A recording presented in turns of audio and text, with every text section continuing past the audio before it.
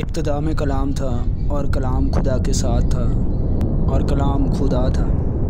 यही इब्तदा में खुदा के साथ था। सब चीज़ें उसके वसीला से पैदा हुई और जो कुछ भी पैदा हुआ, उसमें से कोई भी चीज़ उसके बगैर पैदा नहीं हुई। उसमें ज़िंदगी थी और वो ज़िंदगी आदमियों का नूर थी और नूर तारीकी में चमकता है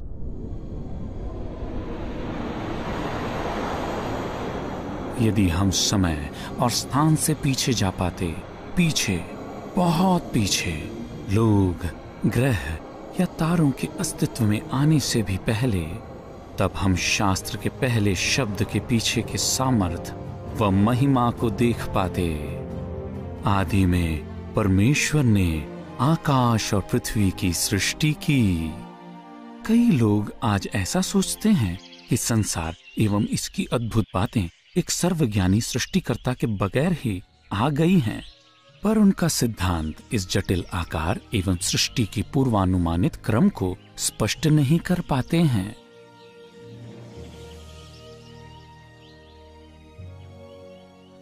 उसकी पुस्तक में राजा कहता है, आकाश ईश्वर की महिमा का वर्णन कर रहा है और आकाश मंडल उसकी हस्तकला को प्रकट कर रहा है। हाथों के बारे में बात करें। अपने आप को देखें, अपने अंगूठे को हिलाकर देखें, बिना इनके पुस्तक, झाड़ू या हथौड़े को पकड़ने की कोशिश करें। नाखून, जोड़ और त्वचा को ध्यान दीजिए। कुछ ज़रूरी कामों के बारे में सोचिए, जो आप हाथों से करते हैं। कौन है जो एक माहिर कारीगर के समान एक रचना को रूप दे सकता है?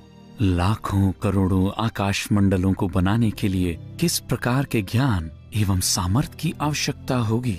या एक जीवित कोशिका? और उसके लाखों जटिल भागों को साथ रचने? या कोशिका की सूक्ष्मतम, कुंडलित धागे नुमा रचना को अनुवांशिक कोड से जोड़कर आपको आप बनाती है।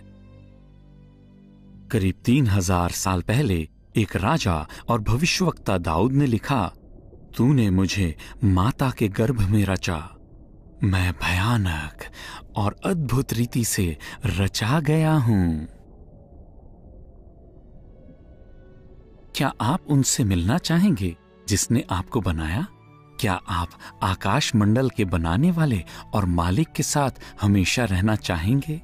आप रह सकते हैं। उसने अपने आप को प्रकट किया है। वह चाहता है कि आप उसे जाने। वह चाहता है कि आपका परिवार व समुदाय भी उसे जाने। वह आपको आमंत्रित करता है कि आप उसकी योजना को समझें। उसके प्रेम को अनुभव करें, उसके प्रताप को देखें, उसके राज्य के अधीन हो जाएँ और उसकी महिमा के लिए जिए।